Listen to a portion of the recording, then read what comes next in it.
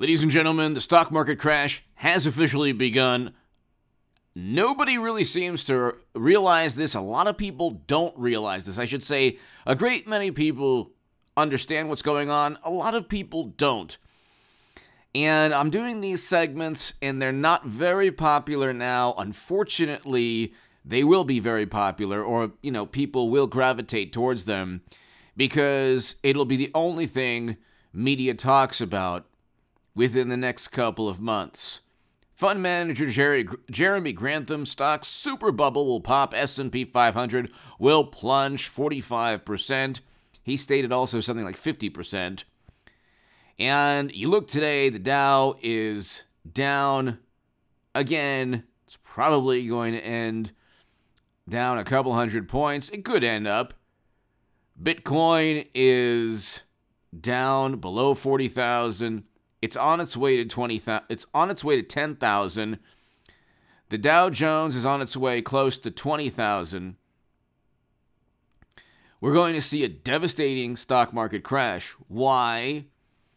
Because of Biden's policies and the policies of Democrats.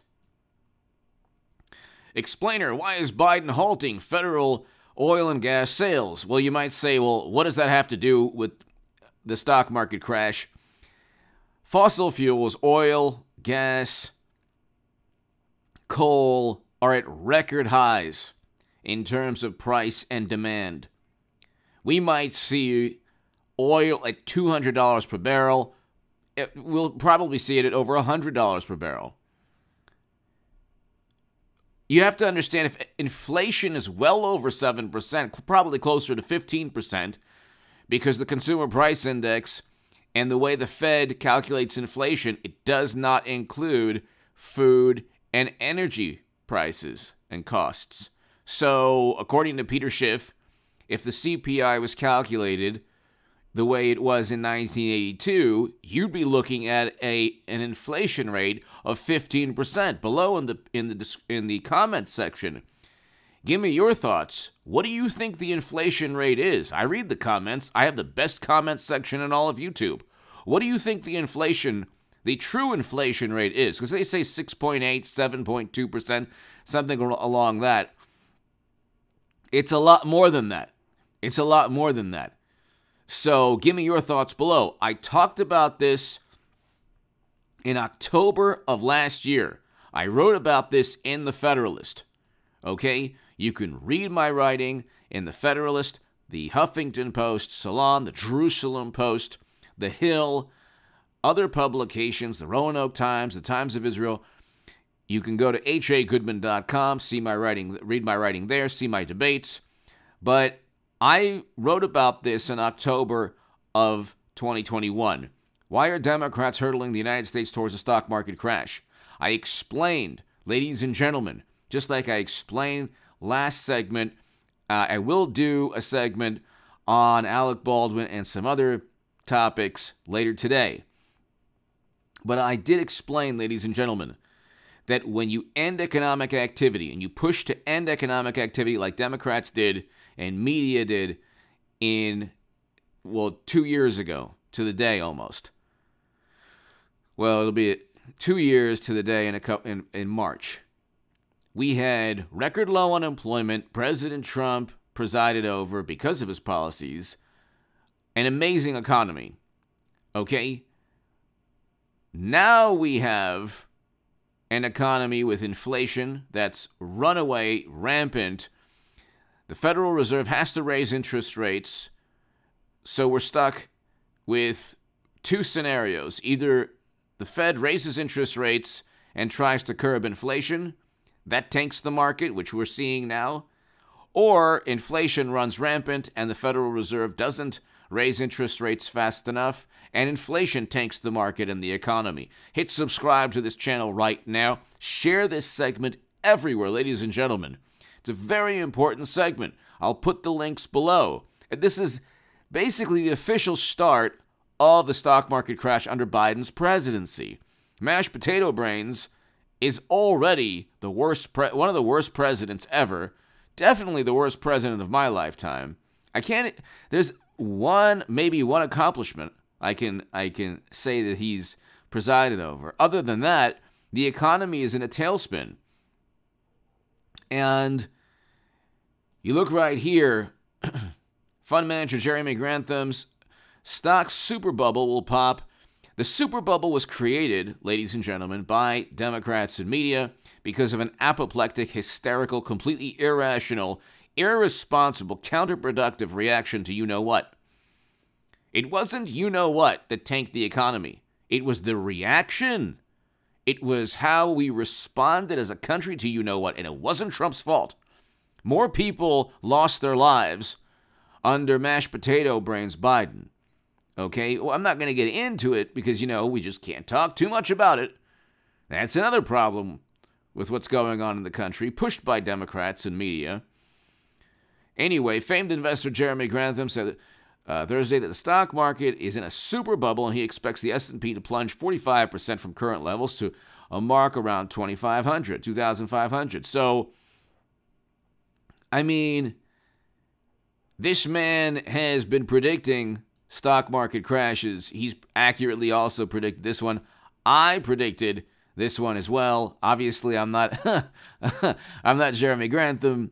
He is a brilliant investor, knows infinitely more than I do about the stock market and economics and investing.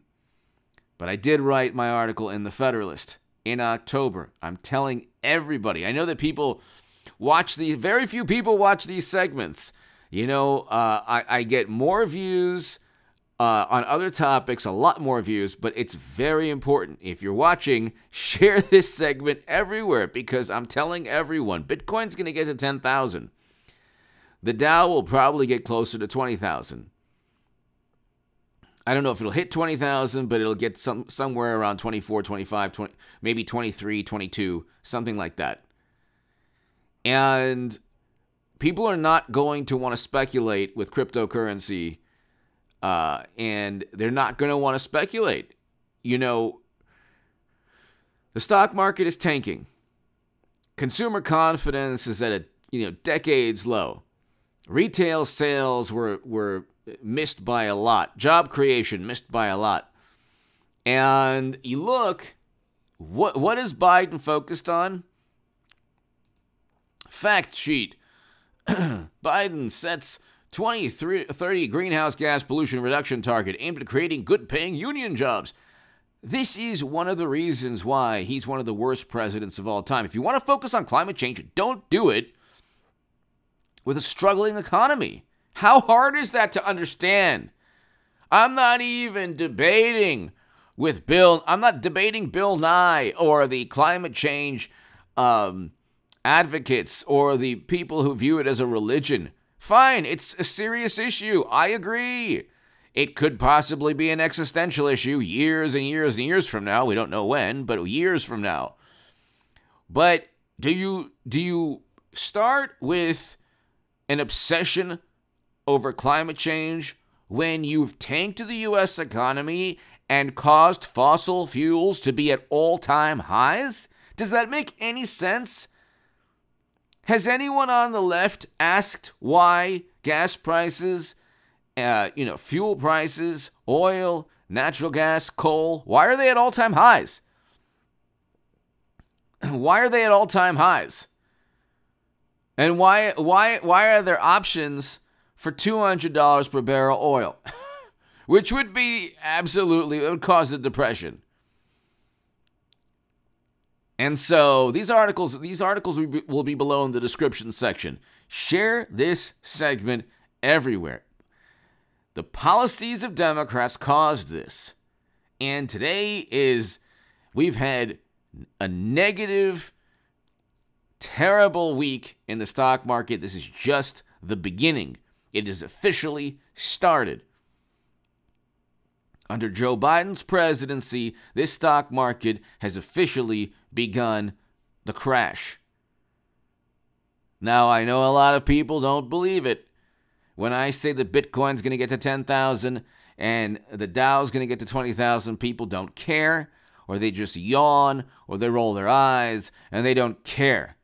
Share this segment with people who might not care, and even if you don't really see this happening.